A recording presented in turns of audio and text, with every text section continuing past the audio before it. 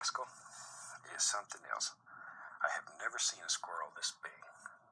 This is called a Sherman fox squirrel.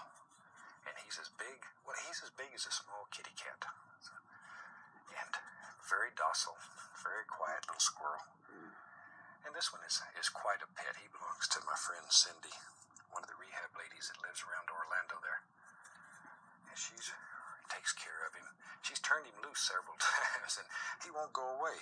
He's sort of like one of my squirrels that I have. I keep turning him loose too, and he comes back.